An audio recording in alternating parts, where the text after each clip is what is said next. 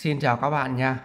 Trong video ngày hôm nay thì mình sẽ hướng dẫn các bạn cách tắt quyền truy cập vào phần album ảnh ở của ứng dụng Facebook trên điện thoại của chúng ta.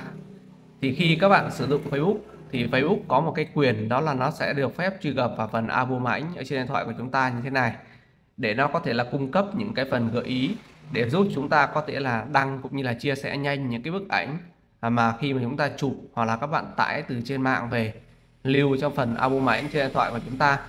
Và cái điều này thì nó vô tình nó ảnh hưởng tới cái quyền riêng tư của chúng ta. Khi mà những cái bức ảnh riêng tư thì lại được Facebook có thể là truy cập được và đọc được những cái dữ liệu từ phần album ảnh trên điện thoại của chúng ta. Và trong video ngày hôm nay thì mình sẽ hướng dẫn các bạn cách chúng ta sẽ tắt cái quyền truy cập vào phần album ảnh khi mà các bạn sử dụng của ứng dụng Facebook. Đầu tiên các bạn sẽ mở Facebook lên.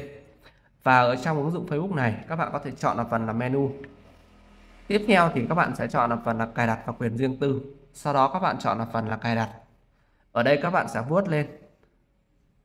Nó sẽ có một cái mục là gợi ý chia sẻ từ cuộn camera. Các bạn bấm vào đây. Ở đây nó ghi rất rõ ràng, đó là quản lý cách chúng tôi có thể dùng thư viện ảnh của bạn để giúp bạn tạo và chia sẻ bài viết trên Facebook. Bạn có thể kiểm soát quyền truy cập vào thư viện ảnh bất kỳ lúc nào trong phần cài đặt của thiết bị ở đây nó sẽ có những cái phần như là gợi ý chia sẻ tùy chỉnh dựa trên thư viện ảnh và xem đề xuất dựa trên thư viện ảnh khi bạn lướt xem Facebook. Nó đang được bật lên và các bạn sẽ tắt hai cái phần này đi.